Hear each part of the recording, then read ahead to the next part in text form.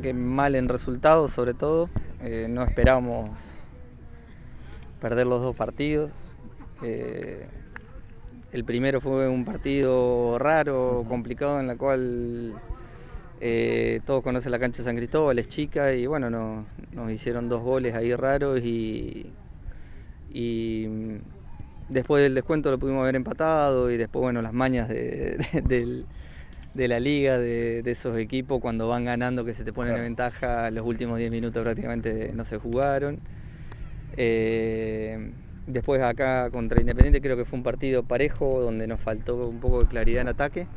Eh, eh, sobre todo la sentimos mucho la salida de Tarquini, que era el que en el primer tiempo estaba dando mucho esa claridad que necesitamos y, bueno, una jugada desgraciada, un penal, una mano y después se te hace cuesta arriba. Así que lo principal eh, creo que plantela y de sobra como para pelear arriba, tranquilamente.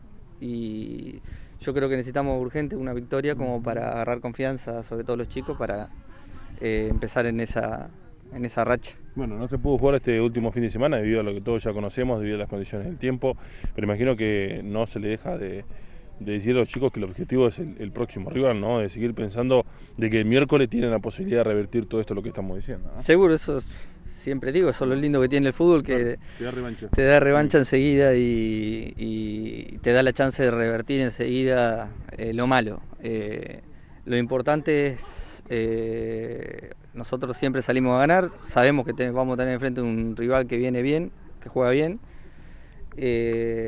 pero bueno es la chance también de, probarte y decir que si ganás, eh, ya cortás la racha y ya agarrás la confianza necesaria. Eh, así que vamos con toda la confianza y, una, en una semana corta que para los jugadores también es más lindo tener una semana corta.